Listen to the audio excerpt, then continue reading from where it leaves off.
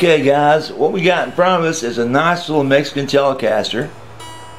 He wants a professional setup done on this. And uh, basically the neck's in good shape. The truss rod, uh, we're going to check that here in a minute, make sure that's working, no problems there. But he wants to save these strings, okay? So, what I've got to do is take these off the uh, tuners very carefully and uh, make sure that uh, we have enough here to work with. So let's flip it around. And what I'll do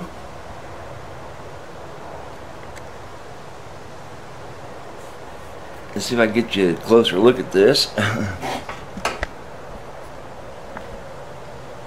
there we go. What I'll do is take these off and band them together but I won't take them out of the uh, body itself since they're body through.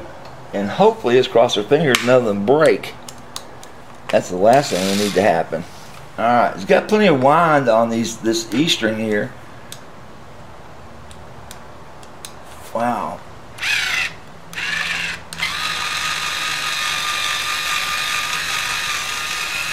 Yeah, you can see that. Okay. So wind it.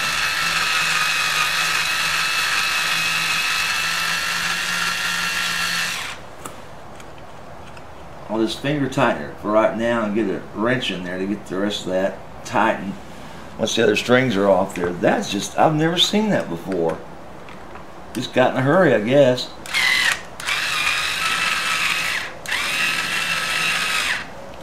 Of course, I can see the other ones are fine. They're, they're not uh, wrapped strangely. They're all underwrapped the uh, first uh, insert that so that works.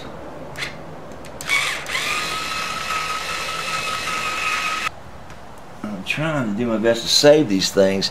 Sometimes you can't, depending on what kind of bend they got in the uh, loop that goes around the tuning peg. The shaft, I mean. Especially on these E strings.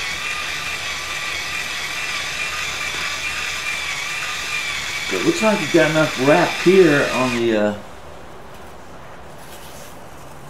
string there. Let's try this one. That E string, I don't know. It's just so tiny. It's, let's see what we got. Oh, wow. Save brand new strings on a, on a setup. I don't want to just, you know, just arbitrarily throw them away. Uh, you know, it charged me four bucks per a new set, especially they got a new set of nice strings on here. I think these are XLs. That's what he told me. So let's just uh, save his strings for him.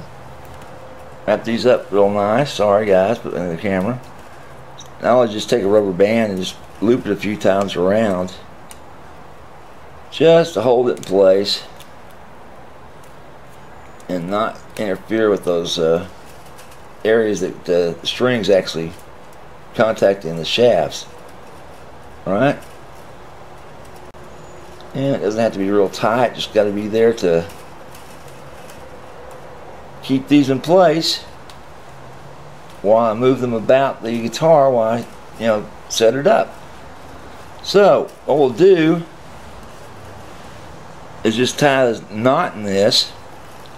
When it comes time to uh, take it, you know, put them back on again, I'll just cut this, you know, band off here so it won't do any damage. So there we got the strings all set up to save and we'll just set those right over the top at the back of the guitar so that they won't be bending any oddball direction or get crimped. Okay, so we got a nice clean uh, yeah, here's check all the nuts on this and I'll do one real quick uh, run through on these so hang in there guys while I get a wrench out. If you recall, this is my little uh, pass-through wrench where the uh, shafts can go up into the uh, body of the socket. Now I'm just going to put these just a little bit tighter than they are. Not a lot tighter.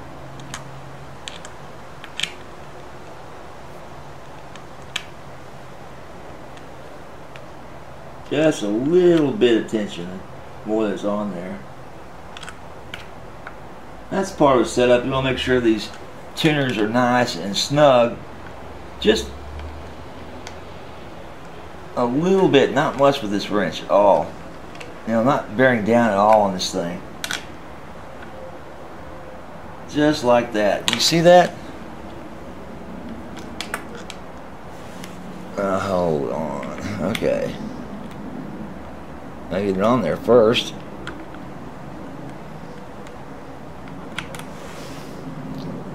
Anyway, I'm just putting a tiny bit. There we go. Okay. I'm just putting a tiny bit turn, just that much. That's it. No more. You don't want to over tighten these and crack them. Crack this wood on this. But you don't want them loose. So, you can't get these off your fingers anymore. But a uh, quick little turn of the wrench will get them off. Right? So now, we're going to go to the rest of the setup. So hang in there, guys.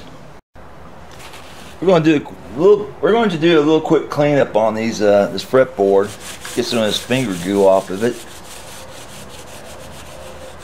and off the frets as well. And there's just a little tiny wear on them, and they need to be polished up. They're kind of dirty too. Show some age on them. We're going to do a nice cleanup for this guitar for this guy.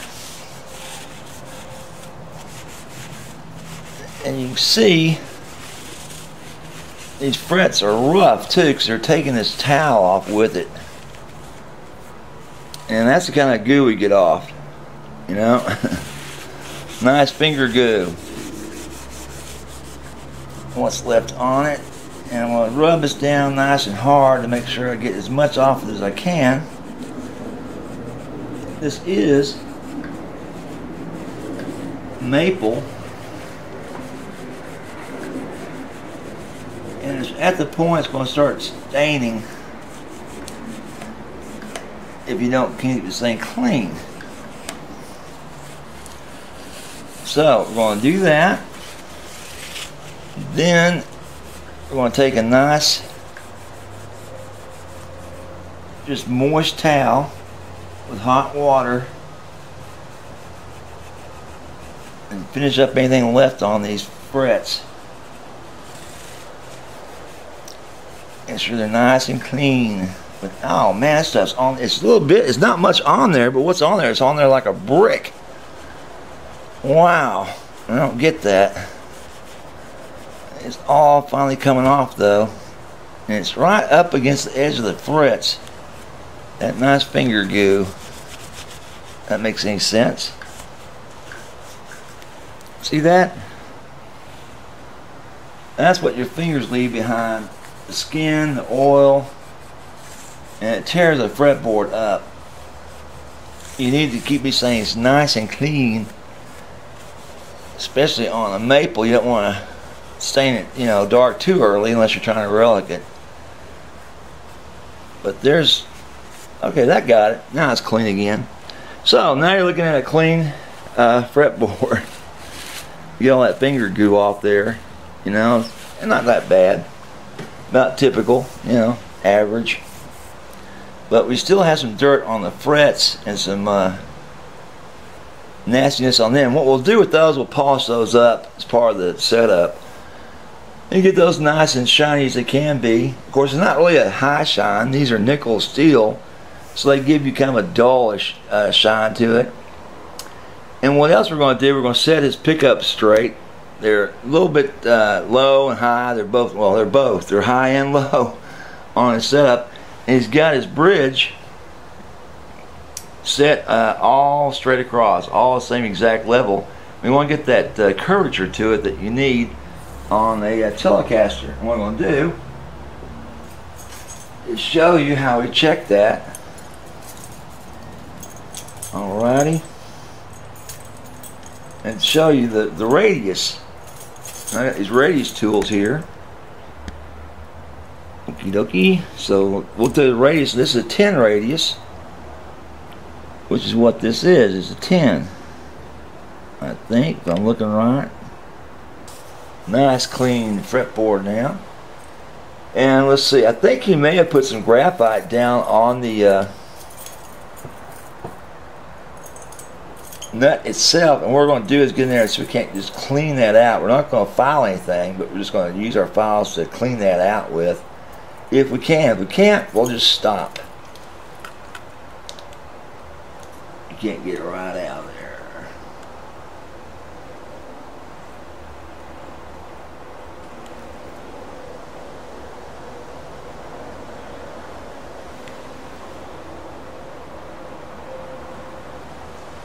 You know, some of it's coming out. And what I do, guys, I use a really tiny file in comparison to the size of the nut slot. So I'm not really filing down in or the size of the nut itself. I'm just barely touching so I can kind of see if I can get some of that stuff out of there. In a minute, I'll take a uh, warm towel again so I can't clean it out. There's some of that came out. And what I do, guys, I don't use graphite on a uh, nut. A little cleaner. I use a uh, stuff called Super Lube, and it's perfect for what the job's done.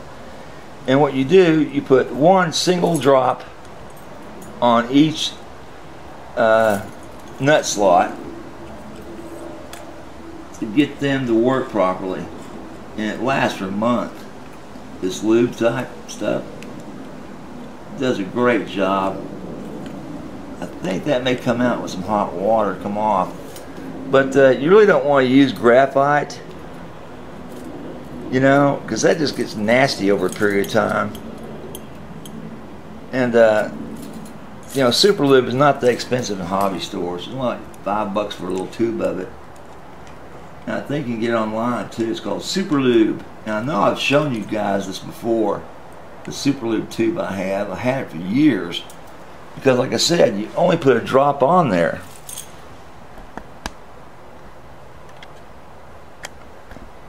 Now, we'll take some uh, warm water on a towel, I like to get some, and uh, finish cleaning that nut up and finish on the fretboard. Get it all cleaned up and nice, right? And we're not talking wet wet, just on damp and we'll dry it off afterwards. So hang in there, guys. Now what I've got here is just some house water, household water, in a spray ball that's warm. Then we'll finish off cleaning that nut off, get that uh, graphite out of there or dirt, and just give the fretboard once over. So we can't get that graphite out of that nut. Like I said before, those little tiny files are not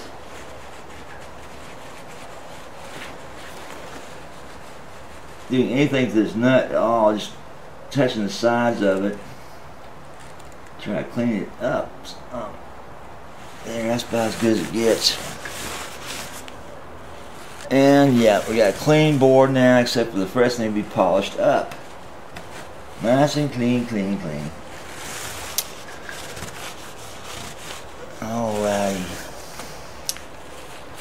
Now, next, we're going to check the relief on this guitar. See what we have. And I've got the perfect little tool to do this. I get it out of the holder.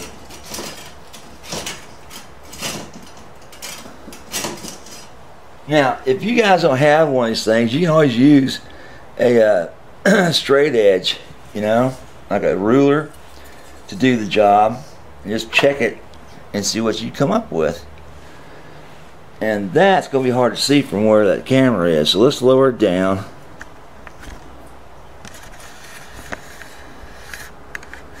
So you can see that neck relief. And you can see underneath it, it's just got, oh, sorry, it's got just a tiny bit relief on it. See that gap between? See the fifth and seventh and ninth? Then of course it goes to the twelfth is touching again. So you got just a little bit of common relief, just a tiny bit. Uh, not much to speak of at all. But it's better to set, leave it set like that, like you had it, than change it up and put more relief on it, or straighten it, and not have him happy.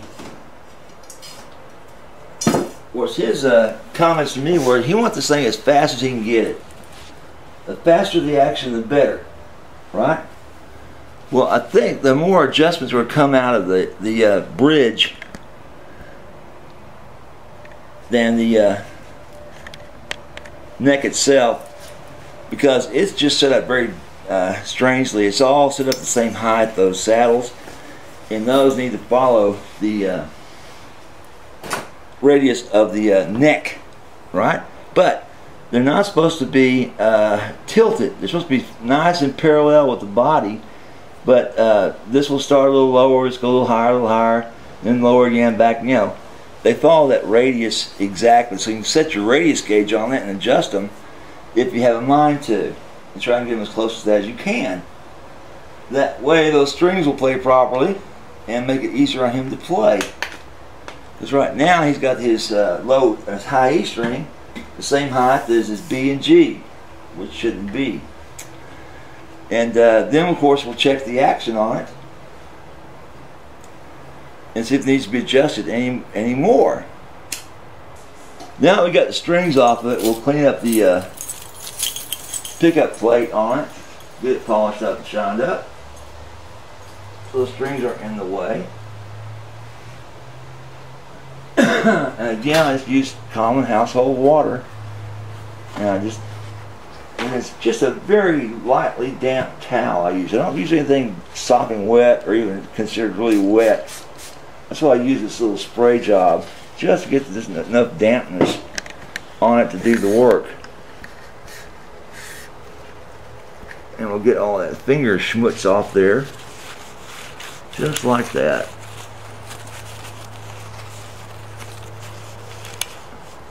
Lot on there.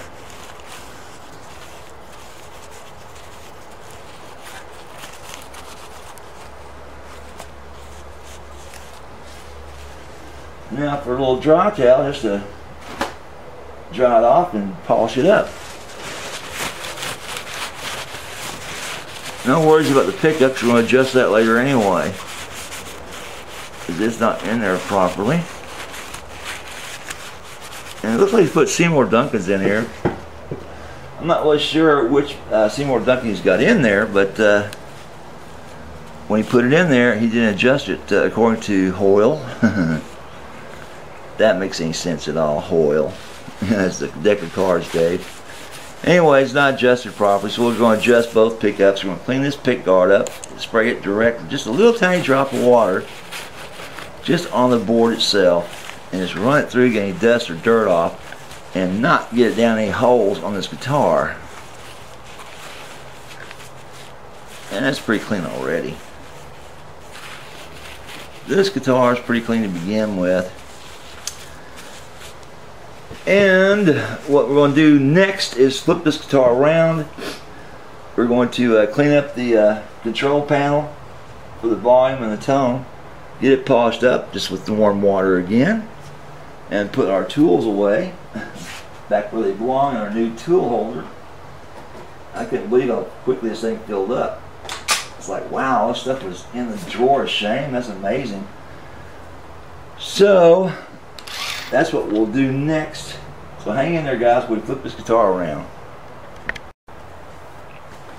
Well, we're going to clean this panel up. It's going to need a flathead to get in there and take these uh, tighten downs off these knurled knob just like that.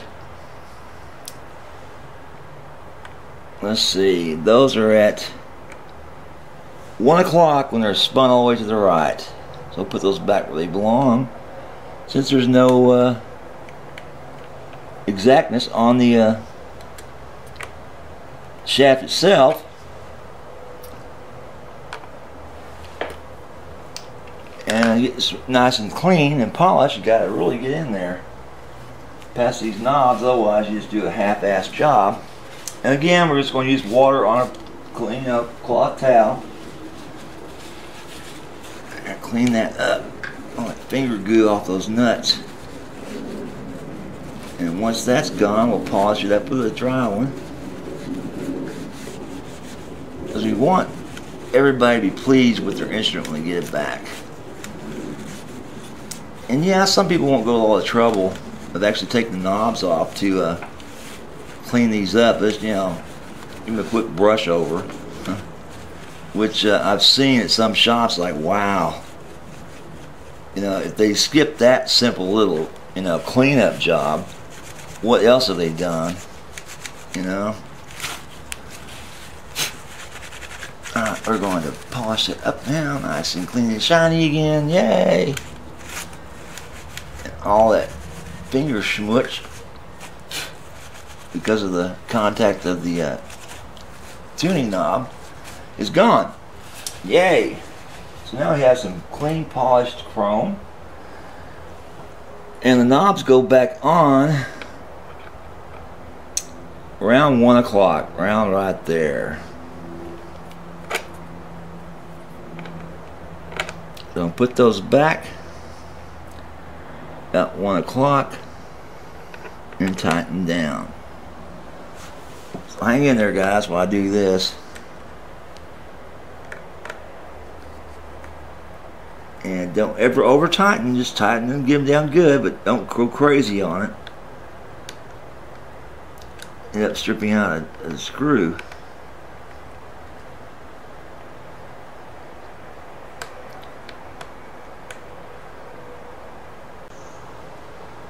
Okie dokie, now it's time to polish up these frets and clean them up, right? Make them semi-shine again. Of course, we can't really dress them, you know, like I'd love to do.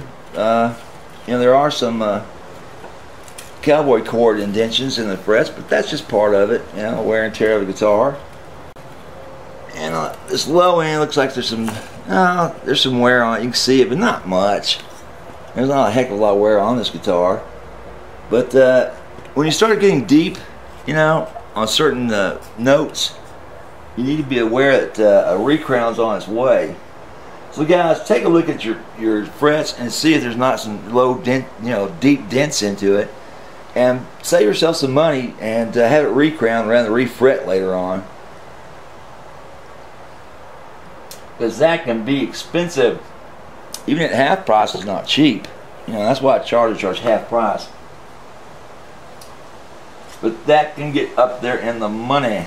Now, what I use to do this with, what I use, guys, is a little aluminum guard to help keep your fretboards protected. Ah, let's fall off. And I use this little tool. It's supposed to be for recrowning, but there's no way it can recrown. It's just not enough paper to it, and it just won't work, you know. But it does a good job of polishing up frets. You know, I'll, I'll give it that. It does a good job polishing but uh, really bad job crowning. so we got this, and we have what we call the steel wool. The steel, I'm sorry guys, the steel wool, right? Grade 4 ot. And it cleans these things up very nicely after you've taken the uh, sandpaper to them. And believe it or not, this little sandpaper tool actually does a pretty good job cleaning. You know, on the polished end. But not crowning. So if you think you're saving some money by going and get this, you know, tool off of the net, the crown, you're nuts.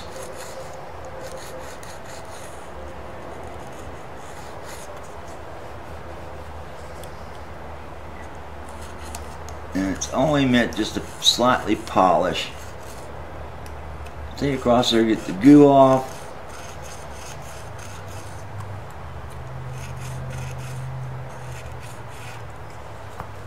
Get them nice and shiny again. All good. You can't see that. Perfect. Anyway, you take a little tiny piece of uh, steel wool, you pull it off, form a little ball like this so it doesn't touch the board once you've used your sanding tool, right, you come back on it like this, and better shot of that, sorry guys, and you polish them up like this. And this is what leaves them nice and shiny and nice and smooth too. You know, these, they really don't need any sanding. The dirt's not that bad. And the deep, the deep ends aren't that bad either, guys. Basically, all it needs is some uh, nice steel wool to them.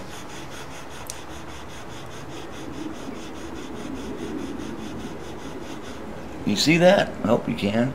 No, you can't. this one really just needs a steel wool. It doesn't need any sandpaper on it. They're not that dirty and not that messed up. So we're just going to steel wool them. And nice and shiny for me. And they're shining up. You know, as best as a guitar's freaking shine. It's not like it's, you know, sterling silver or anything. But we'll get them back and shiny like they were when you bought it. You know, at least that much. But they will still have those indentions in there. Can't get those out. Not with that tool, you can't. Ah, those are coming up nice and shiny again, I think.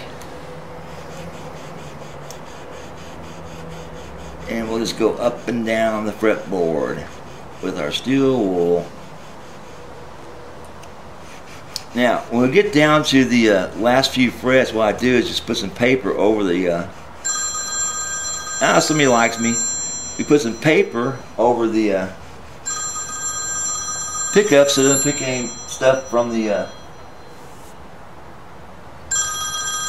so it pick up any tiny bits of uh, metal flake going to the pickup because it's magnetic.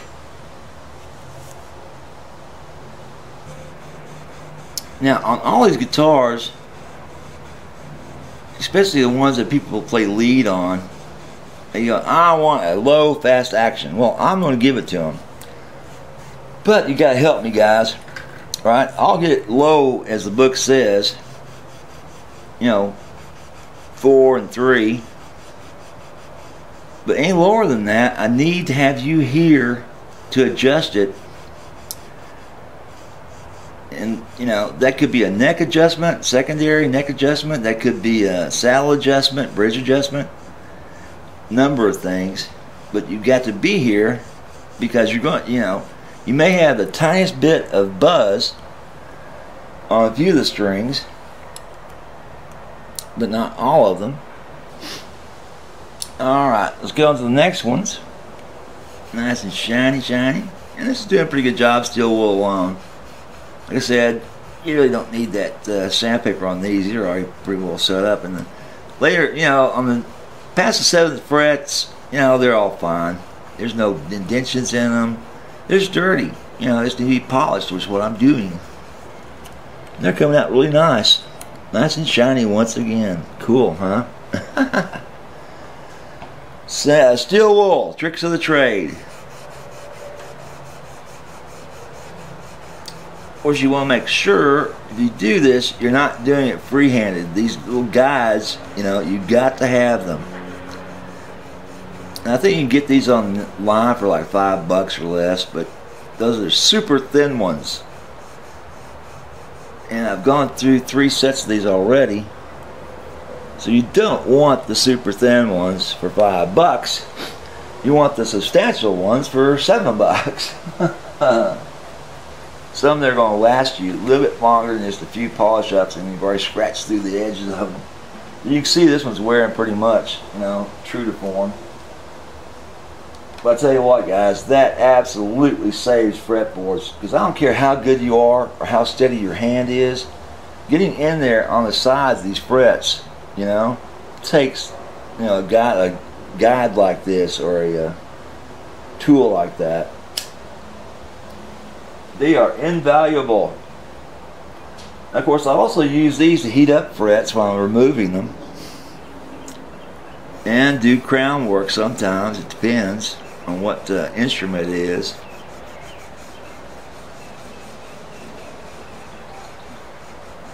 And what I'm doing. And if you watch some of my videos, you'll see I've been doing a lot of refret and recrown lately for these guitars. And brother, have they needed it. And what's really nice about this, you can't see this on video, but I can see it. The difference between this one and this one. It's like a shiny versus a very dull and very dull. I mean, very dull. But once you see them all together, it's like, ah, what'd you do? You didn't do anything. Oh, yeah. yes, it did. It really does shine these things up. And it doesn't take any metal off while it's doing it. It's just basically getting all the grime off of them. Makes them nice, nice to play too. Makes them silky smooth again. Unless you got really sweaty fingers. well, oh, I wish you could see the difference in this. The before and after. Maybe you can, but it's not easy. See how dark that one is compared to this one? That's actually what a shine up does. A polish up. Pretty slick, huh? Makes the guitar overall look better, I think. Of course, you know, after a week's of playing, after a week's worth of playing, you gotta do this again. Because they do go back to regular. They get dirty again. And the smart thing to do is just keep the whole thing clean, you know. On these maples, just use warm water in a cloth. Just wipe them down all the way real nice. And the backs too, guys. Don't forget the backs of your guitars. That's very important. Back of the neck. You don't want that getting all fritzed up. I had one guy write me and told me his his uh, Les Paul, the uh, finish on it had gone gooey on him, actually sticking to his fingers. I don't know what that was all about. Never got back with me. Maybe it's some kind of porno trick or something. I don't know. But said the back of his neck of his guitar gotten sticky, and it's like, huh? You know, on his Les Paul, his Gibson Les Paul. Well, has it been there heat? What's going on? I, I, I, really wanted to see it so I could fix it. But he never showed up, so I guess it was just a, you know, some kind of weird pun or nasty inside joke or something. I'm not sure. Of course, I get bunches of those in the emails.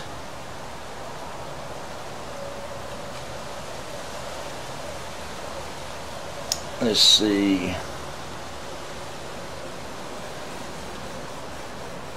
And while I'm at it, guys, I want to make sure to tell you one more time do not send me gifts. It's embarrassing. You know, if you do, I'll put them on the you know show and show everybody what you sent. But please just don't do it. You know, there's very few things that I need in life. I'm very easy. You know. so anything you send me, most likely I've already got it if I wanted it.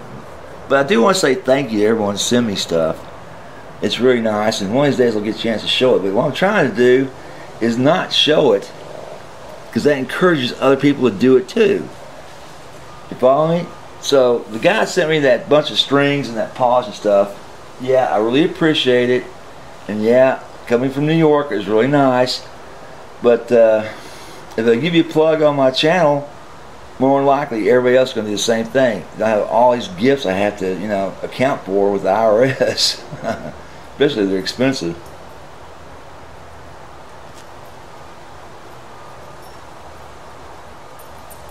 That we want to stay away. There goes the neighbor's girl walking her dog. What's nice on days like this in, in uh, November is that we've got a true Indian summer and it is just nice and warm. It's like 75 degrees out today. Nice and sunny, no clouds. So it makes it really nice to open the shop up. And I'm like about uh, probably half the other you know guitar repair shops around in their own house. They have a workshop in their house or beside their house or their garage or their basement. Save money that way they can actually offer you work at a lesser cost. It's also a way I can offer you free setups, free professional setups for free.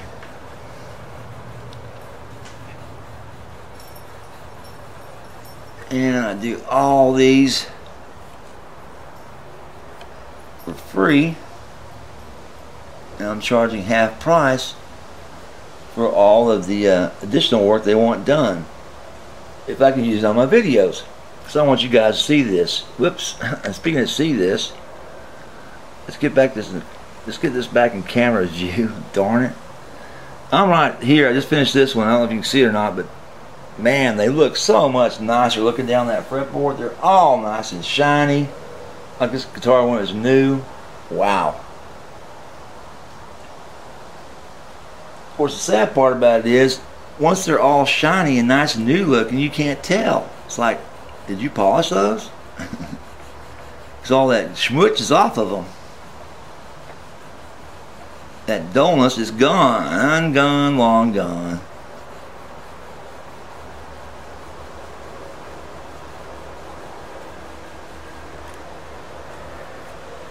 And this is kind of what takes a long time with guitar setups. Just the uh, little tiny things that make it so nice to have them done by somebody. You know, little work that no one knows what to do or how to do it. or what to use to do it. Now I've had people get out steel wool they had laying around the house and it's the wrong grade and just scratch the crud out of their, you know, frets and write me and say, hey, well, you used 4-aught? That's the last you hear from them, you know. they should hang their head in shame. They don't follow instructions. You don't want something so abrasive it's going to sand the crud out of these frets, guys. You just want something that's going to put a nice little shine on them. And these don't require polish or anything. Just take some elbow grease and the right uh, type of uh, steel wool. Especially these jumbo frets on this fender. And they come up really nice. I mean, real nice looking. And I don't know, you spend about 30 minutes to 45 minutes doing this kind of thing. You get the result. My really re reward of this is getting these on video to show you guys how to do these kind of things yourself. But when these guys pick these guitars up and they're all smiles, you know, after I fix them, that's really what's rewarding. Alright, I'm going to switch to a smaller uh, guide here. So, hang in there, guys. While I search through my bucket of shame. I already named my stuff, call it the bucket of shame. Wow. Have I done with that one? These are all the small tools I've got that I can't put them anywhere else I just lose them so fast.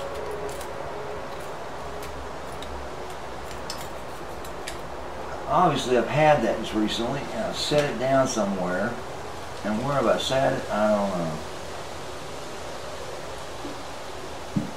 But here I am, I'm left. Oh, here it is.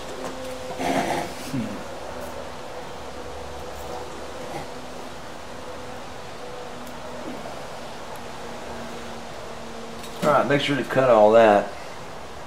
Okay, now I got my small uh, template. Get these last two smaller ones, right?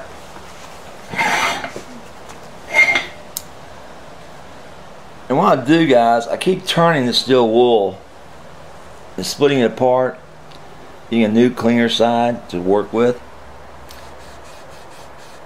And that way it cleans up quicker and nicer. So I'm just not using the same spot over and over again. Helps to get that abrasiveness back. Of course, these are just barely abrasive. They are more for polishing than they are for abrasion but uh, they do an excellent job. Can you see this, guys? No, of course you can't.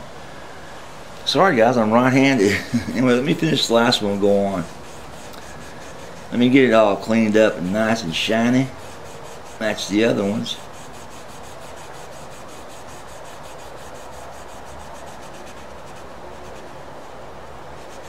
What's neat about these little templates though is you can actually move these uh, to each end, right?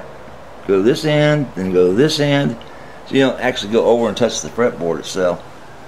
There she be, nice and shiny again, like it was new again. Isn't that neat? So, these go back into my little bucket of shame. that old steel wool gets thrown away. And, uh, oh yeah, once again, it's grade 4 aught. And I think it's like 5 or 6 bucks, 9 bucks, something like that. It's not expensive at most, you know, hardware stores. So get you some of this and go to it on cleaning up your frets. Now, now that that's all done, said and done, we could polish it, but uh, the strings are not going to be in the way because the fretboard, as well as this all being cleaned up. So the really thing to do next is put the strings back on and start working with the uh, action and go from there. So hang in there guys. Alright, well we want to put these strings back on here. Now this E string is really I think overwound on this uh, peg. But we'll see, we'll see, we'll see what we come up with. But it was actually under the nut. Because that's just bizarreness. We'll wind her up. And we'll do this by hand to start with. Because I may have to cut some of this string off at the end.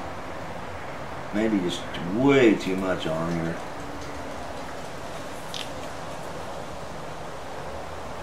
because of what happened. Because on this big thick E string you don't want it you know doubling over and that's what we're going to do. We're going to cut this. This is way too long. Wow. Darn it. Because it'll end up wrapping over itself three or four times on the uh, spindle. That we can't have. So, this is the only one we have to cut. I hate doing this. But uh, there's just way too much on here. What you want to do, guys, oh boy, you can see some, okay, here we go. What you want to do is take it, you know, to this right here, this next spindle, to get it, you know, a good two wraps on it, or one and a half wraps, right? Not this far. And what we, oh God, we have a crimp in the wire too that could just break right off and it is short, short. Damn it. Well, that happens. Uh, sometimes you can save strings, sometimes you can't. But if you'll look, if I can show you this, there's actually a crimp in the wire. You see that? Yeah, I can see it. That means that's going to snap right in half. And there's just not a lot left there to, to catch, darn it. But I will try. I will try to catch some of this. And it snaps, it snaps. I can't help it. Alright, we're going to take it up like it should be. Not lost extra on it. Cut that. Bring it in there. Oh man, it's right on that crimp too. Darn it. and take them under. And since this has issues to it, I'm going to do this by hand, guys. Sorry, I can't see anything, but this one's got some issues. The string does, and I don't want to use my green little monster and do it too fast and just snap this thing short. Like I said, you only want to take it two times around the spindle. You don't want much more than that.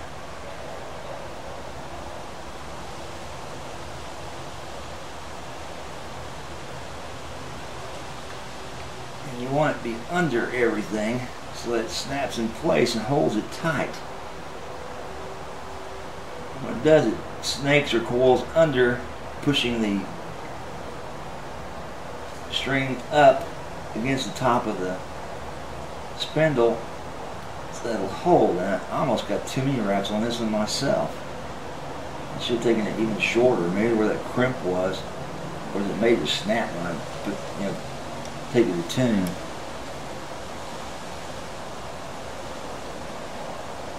But we were there, we were there, we were there with two turns on that, so I didn't lose much. Got two turns on there so he can go down to as low as he wants to go with alternate tunings. Okay? So we did manage to save that string. Hurrah! Let's see what we got going on with this one. Same problem. this one I think was done right. There wasn't too much uh, extra left on this one. But we'll see, we'll check it. Anytime you have to do a string like this, restring them, it's best to, uh, you know, if you can, trim it down to the right length. And this is way too long too. Okay, what you want to do is just go down, you want to go two, two and a half at the most down and not be left with a lot extra string on there because what it does, it wraps over itself. There's no place to go. Okay? When that happens, you got problems with the tuning sometimes. It'll slip. Let's go in there with this one too. And put a nice bend to it. New spot. And take it around the tree. Sorry guys. I'm to have to move the camera around if you want to see this. There's just no way I can do this with the uh, little green tuner because it's just not to stay on there. It's want, it just wants to come off. This darn thing. The string doesn't want to stay on. And that's because it's being restrung. That just happens. It wants to come out of the hole. And until I can get a couple loops on here, it's going to continue to try to do that.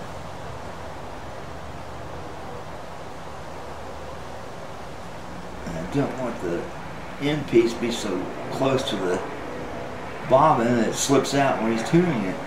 Ah, we got it. Okay, now we got it. Yes, we. I think we managed to save this one too, unless it snaps on that uh, on a crimp somewhere on it. I haven't seen. Of course, like I said, when you bend these things, you know, around the spindle, sometimes they'll be bent just a little too much, and they put a crimp in the wire itself, past the windings down to the main wire itself, and that's a problem because then it just snaps off. That's how you break strings.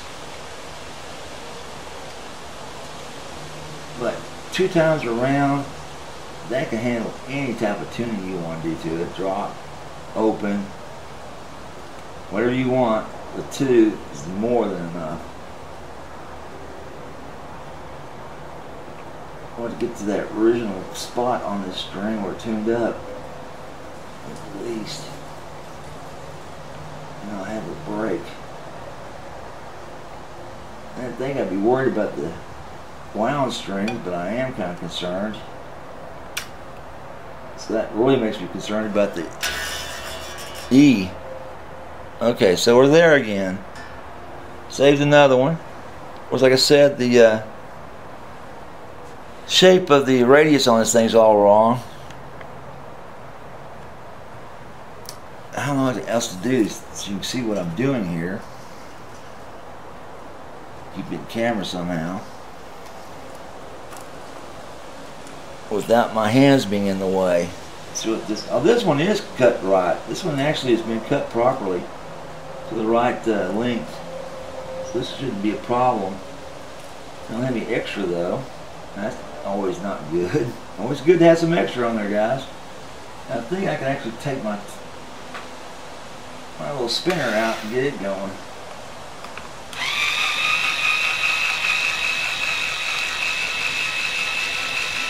Yeah.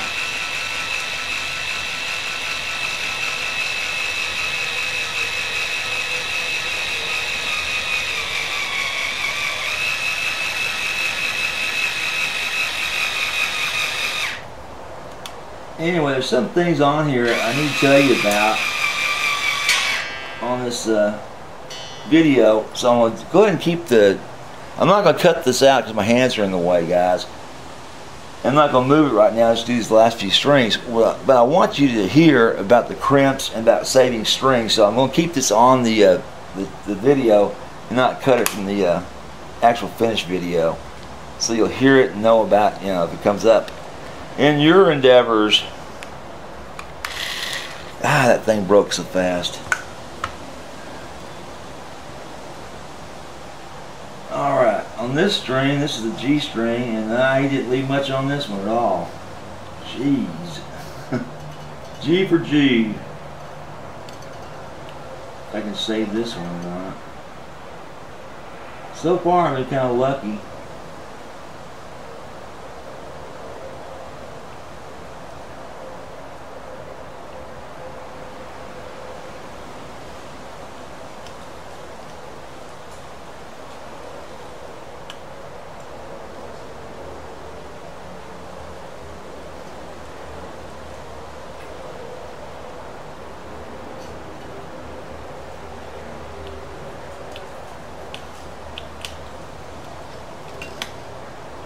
Course, the G string's always the pain in the butt, it seems. It's got to be under this, not over it.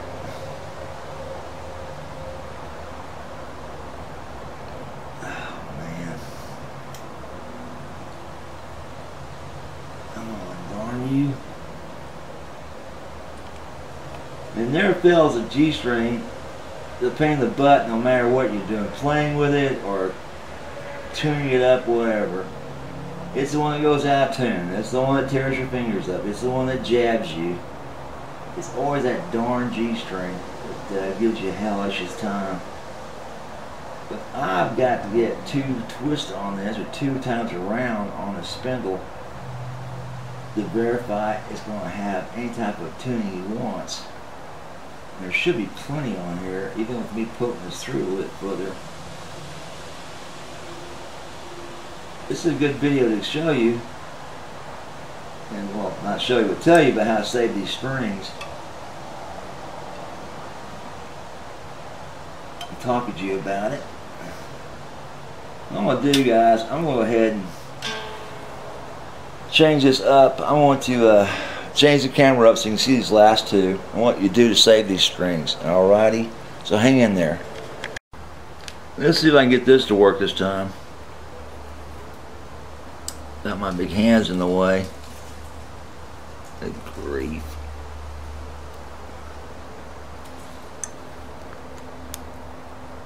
Oh boy.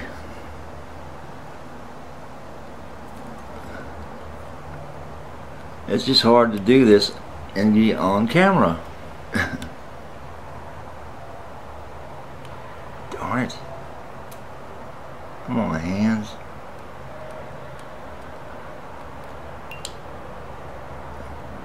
Okay. I'm going to have to move this around even more to get this right. So I can get in there and show you what I'm doing. But I'm going to have to see what I'm doing as well. So I'm going to put this straight. This tuner.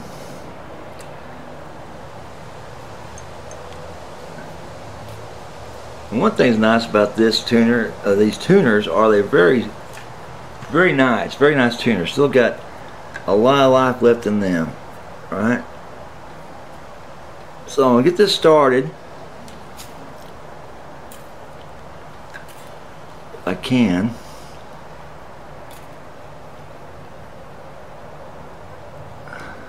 Darn it. I want to just flip it over and, and, and be over the top. I want to be under, which means I got to just take it around. It's like it was new.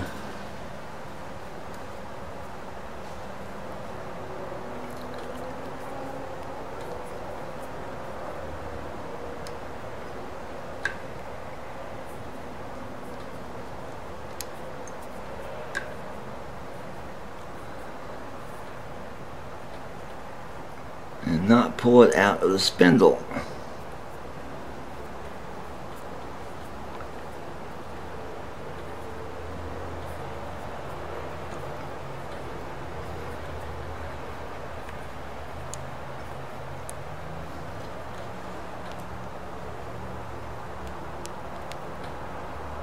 Alright, now I think I can grab my tool and do it. My little handy dandy thing.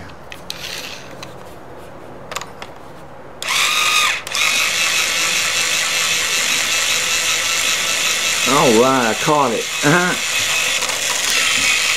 Alright, there's another string saved. If it doesn't snap off at the last second, which sometimes they do. Cross your fingers, guys. I'm going to do this rest by hand. I don't want to overdo this and snap it at the last minute.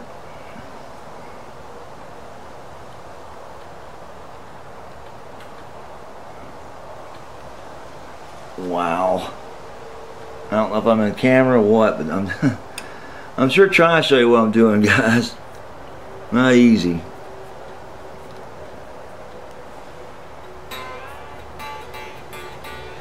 Okay, now we got it in there. Yay! Another string saved. Oh boy. Now comes the fun part, getting that E string in there without breaking it.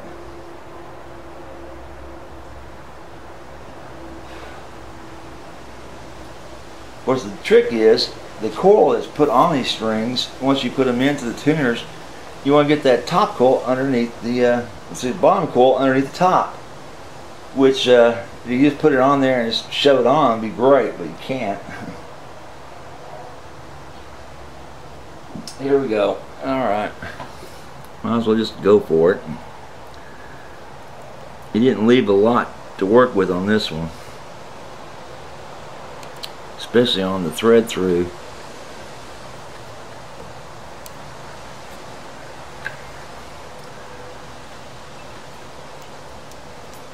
Alright, come on.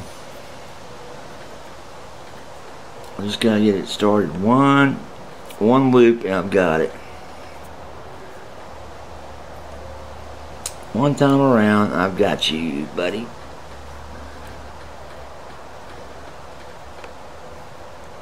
Stay in there, stay in there.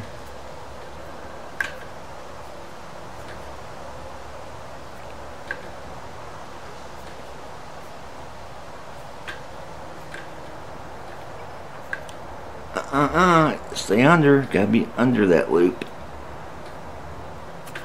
Come on, you're almost there.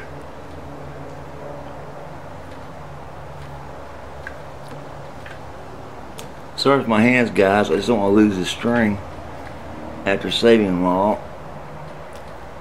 Let me bitches break the last one. Trying to save it. Under the string tree. Oh, look at that. There's so much coil on the end of the string. On this little E strings like this, if you can't get the coil marks around, or the coil shapes around the spindle, that's a problem. That's the break there about to happen. So, we're getting close.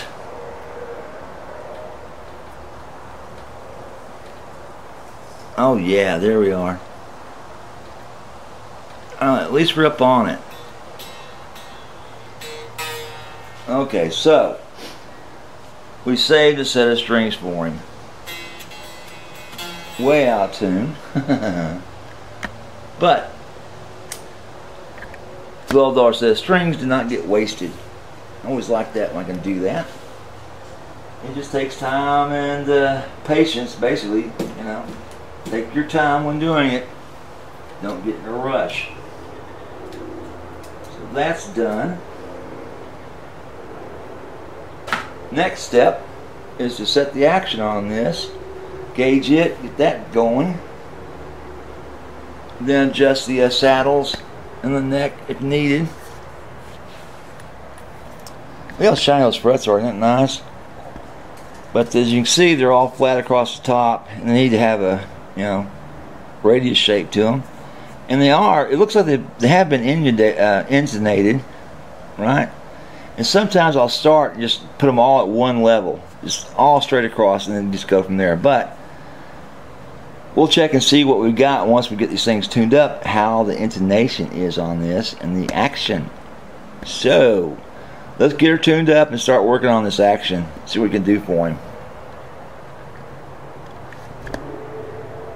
Hang in there, guys.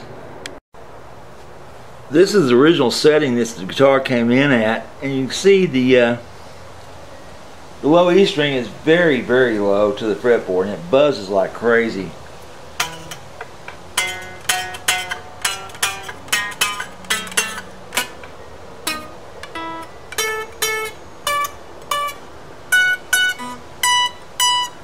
Pretty much every one of the strings are buzzing.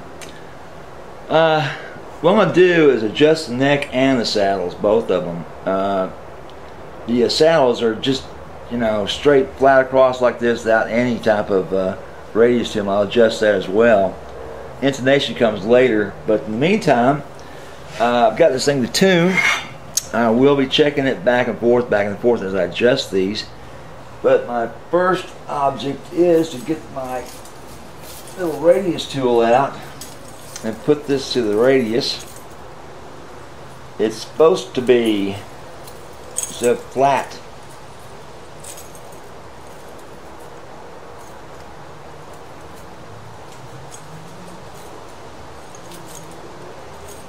Alright, where are you hiding, son? No, I didn't take you off my spindle. Hmm. Jeez. Okay, so we've got to take this flat one and turn it into this. This kind of shape. Which is not all heck of a lot off, but that needs to be done and raised as well get that buzz go away. So we're going to do both ends. We're going to do the neck, give some more relief to it because just a tiny bit on it. We're going to raise the saddles up just a tiny bit and then check the action because it, as it is right now, yeah, the action is too low. Uh, that's why you're getting that darn buzz, you know, on the uh, frets on every single string. So we're going to adjust this back to regular uh, four and three. I'm sorry, five and three on this one, and uh, go from there. So hang in there, guys, while you get that set up. Alright, what I've done guys, I've raised every single these, uh, every single one of these up, but kept them in the radius uh, shape of it, right? Uh, lower, higher, higher, lower, lower, lowest, kind of thing, you know? And I raised them up high enough to where they don't buzz anymore, but that's not what he wants. He wants this as low as possible. So what I do next is, I tune it up, verify that we had no fret buzz, and then I go through and check if how much I can lower these each one and then check the the uh, relief on the neck to make sure you know I'm uh, uh, as good as I can be there as well right? So like I said next step is to tune this thing up and test it for any fret buzz and go from there. So hang in there guys while I set this up. Okay well we still have a lot of fret buzz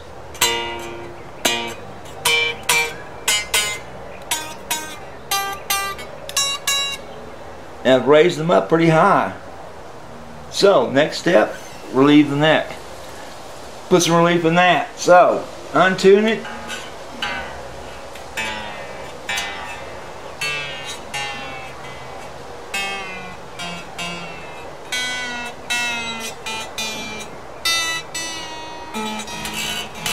Alright. We'll get on the neck and uh, dress that. Uh, We'll get on the neck and adjust the truss rod to put some relief in this guitar. It's got just the tiniest amount right now. It's going to need some more to try to keep this action where it needs to be without fret buzzing. So hang in there, guys. Hi, my name is Scott, and uh, I've got this Mexican Telecaster here that Dave has set up for me, and I'm going to play it uh, for the first time since he's uh, done some work on it. Go ahead and play it. Let me tell you, uh, it's all set up as a common, like uh, 564 and 464 but I want to lower that according to your taste. Okay. okay. So you play it and you tell me what you like or not.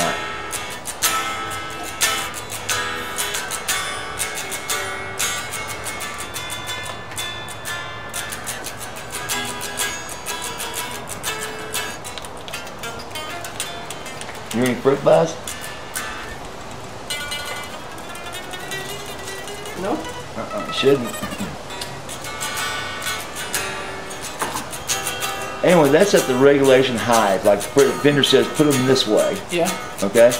I probably can go a couple 64s lower, but there's going to be some buzz at the end. I don't mind a little buzz because I don't really play up higher very much. I like to feel good about right here. Mm -hmm.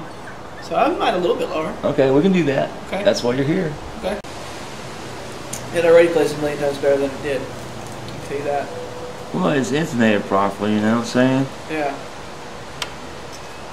Now this might cause some buzz, so don't panic. You know, that's what you're here for. You're here to get all these adjusted, okay? I don't, like I said, the buzz doesn't bother me. I'm not a lead guy. I can play a little melody here and there. Because I can't go any lower. That's as low as it goes. That's as low as it goes, and this thing lower just a little bit more. That's about it. And then below this is going to start buzzing, cousin.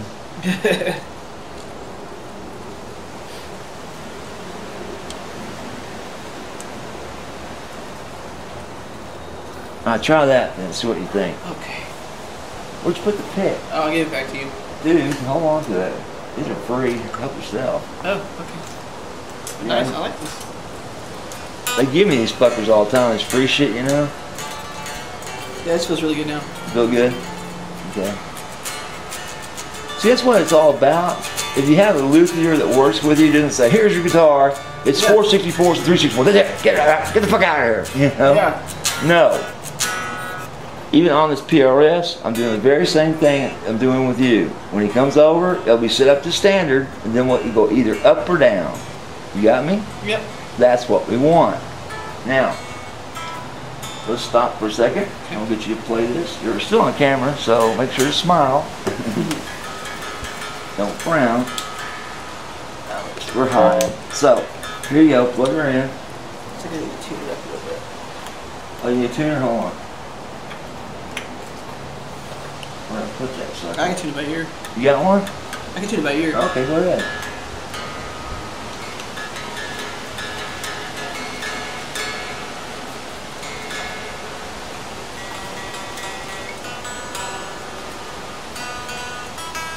You like Diet Coke? I do, but I just had a lunch and I had to drink a bunch of soda. so- Okay, all right. I don't think that's it yet. No. You don't want tuners? I got That one D, right D here. just keeps slipping or I got one right here. Okay. Now I double wrap those strings, you know, twice around. Yeah. But here's the funny part. Oh, this is on D, D sharp. Yeah. Anyway, here's the funny part about this, okay? On that E string, right? You had the string wrapped under the nut Uh oh. on this. Are you serious? I'm serious, I got on film. It's actually wrapped under the nut. Well, that's Why the hell fault. that happened? I put the strings on. That's my own. That's why I need people like you. Dave. That's just bizarre. I've never seen it before. you know what? I- I never know how short to cut them, so I just wrap, I end up with too much string, and then they end up just going everywhere. Okay, here's the deal. Okay, I'll, I'll tell you. Once you come through, make your hole straight right there. When you put them through, mm-hmm. have it straight, and on this string, go up to here and cut it. Right? Okay. Or back it out actually and wrap it. You know, twist it then. You get me? Everything with the last two, you go up to the next peg hole. On over like that. Yeah. That over to that one, you know, you skip one. Okay, Okay. except for the last two, you only go about one and a half up. Right? Okay. That way you get get two wraps around the, the post to make sure you go up and down your tuning. It's a good guideline. I didn't know that. Yeah. Trick of the trade, dude.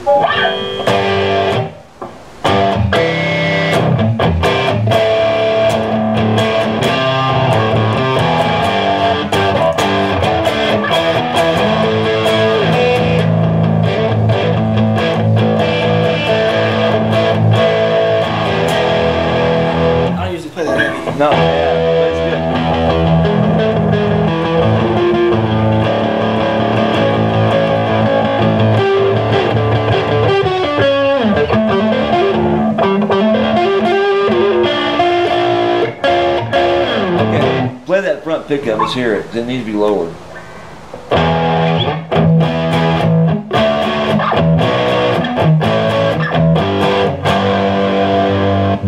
Go ahead, keep playing, keep playing.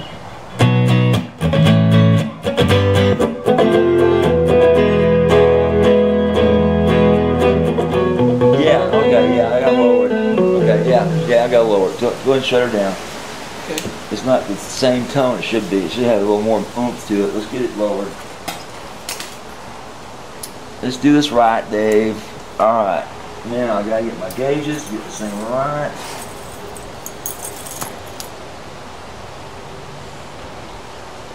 Yeah, I'm excited to get your opinion on this one too. What is it? Is that P bass? 78 P bass? Oh, that's right. You look Yeah. look against your bass, right? Yeah. Cool. Yeah. I um. What had- does it need done? Well, I, I just had it. Well, okay. I found this secondhand. Got a steal of a deal. It was Yeah. a garage find. Oh, cool. I I, um, I did all the electronics as far as cleaned them up, cleaned the pots. I um, then I had it set up and put some strings on it. Bingo. And the action is okay, but Uh-huh. I think maybe the nut is too low, and I ordered a nut. I don't- haven't got it in yet. There you go. Done. Oh, you didn't know. on it. It may. I don't know. I just want you to look at it. All right, go ahead. Pick her up. It's time to play. Plug her back in. Okay. Now you're set, dude. That's a custom setup. You got it. And you should love to play on it. Ready? Yep. Go for it.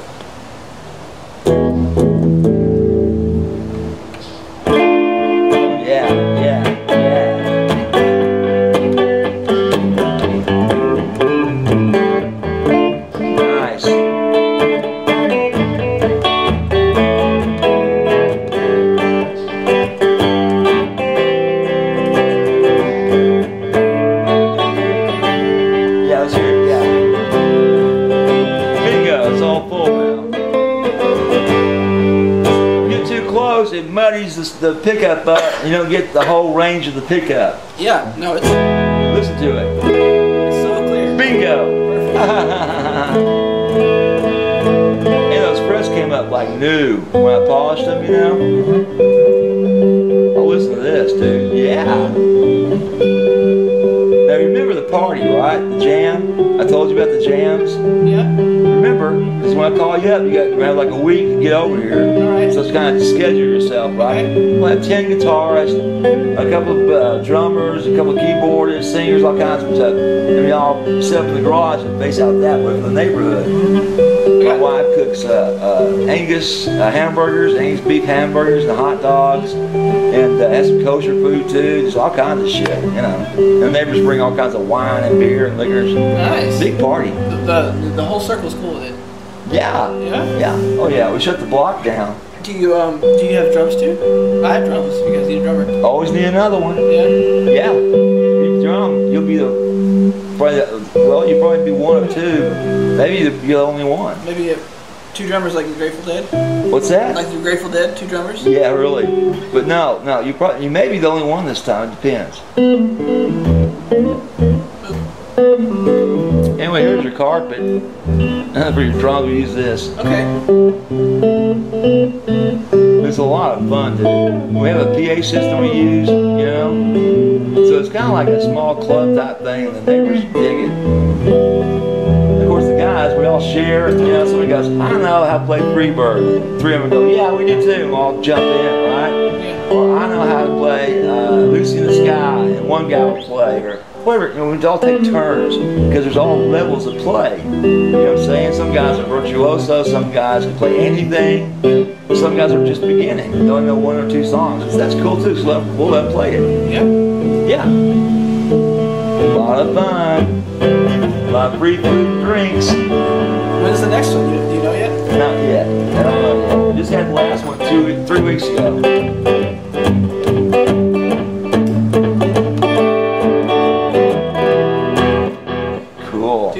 Awesome. Thank you so much, man. You're welcome. Well, Thumbs up for Dave. Okay, thanks, guy. Okay, guys, uh, David, text you any questions? Give me a holler. Bye.